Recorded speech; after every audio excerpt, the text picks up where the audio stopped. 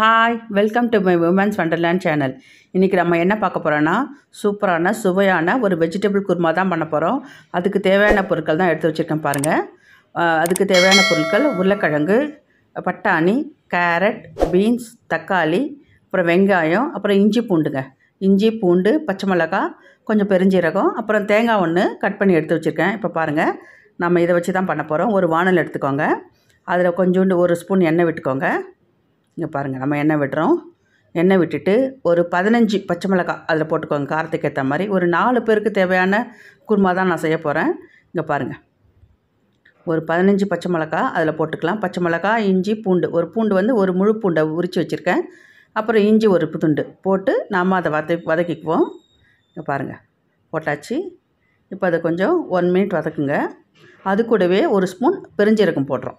அதையும் சேர்த்து நல்லா வதக்கிக்கலாங்க. பாருங்கள் வதக்கியாச்சு.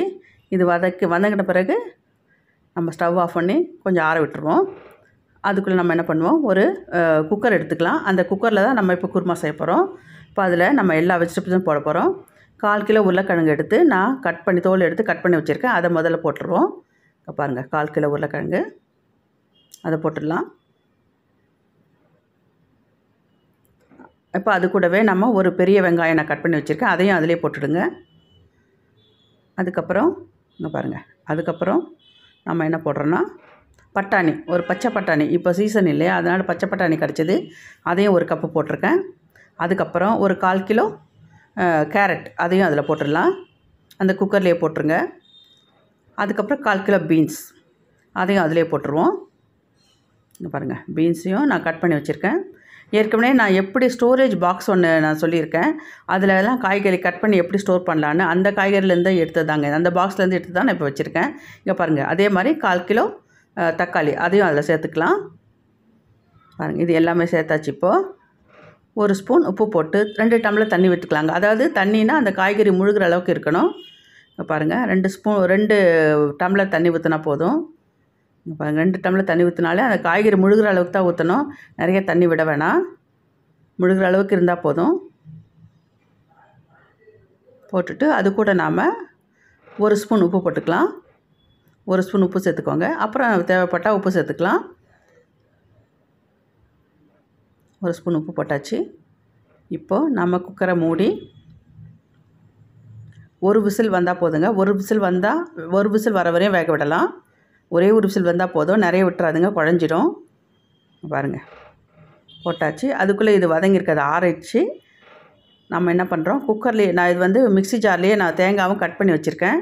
அதுலேயே இதை சேர்த்து நம்ம அரைச்சிட போகிறோம் நல்லா நல்லா பேஸ்ட்டாக அரைச்சிடுங்க.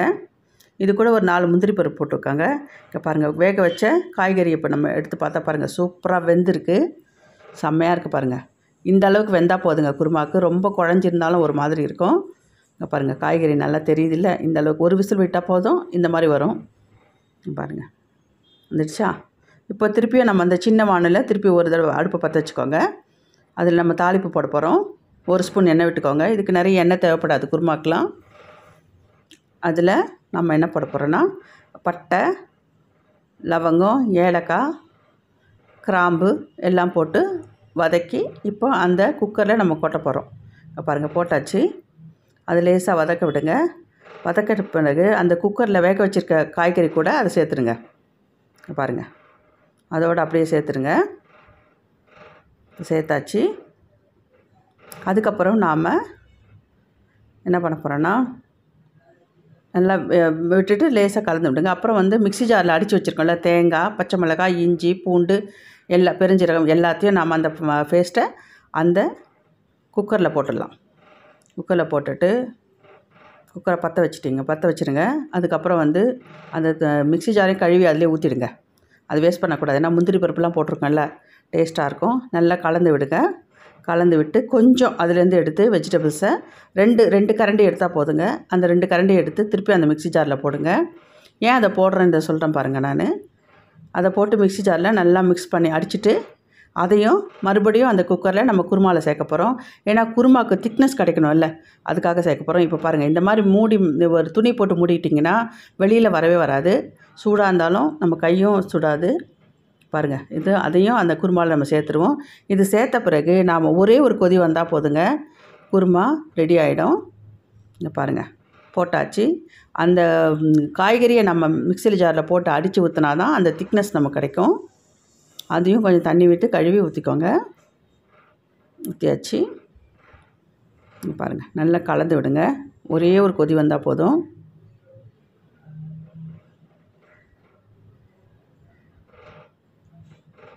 உப்பு இருக்கான்னு இந்த ஸ்டேஜில் பார்த்துக்கோங்க நான் உப்பு பார்க்குறேன் உப்பு பத்தலைங்க.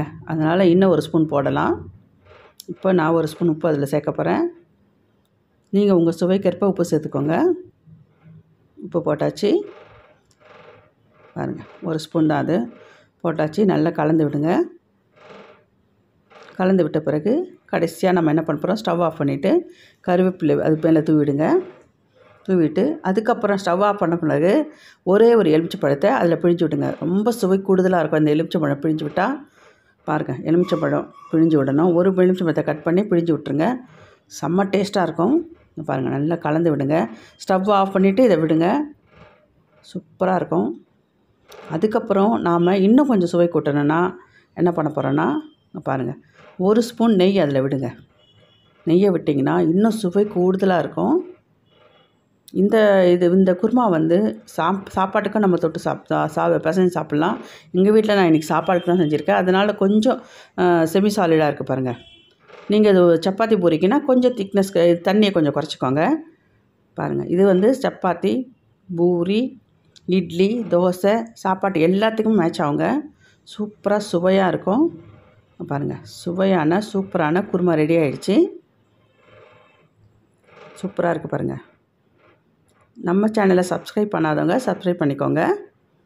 சுவையான குருமா. இது ஒரு அணுன்ற மேடம் கேட்டிருந்தாங்க. சப்பாத்திக்கு தொட்டுக்க ஒரு சைட் டிஷ் சொல்லுங்கன்னு. இது ரொம்ப சப்பாத்திக்கு சூப்பராக இருக்குங்க.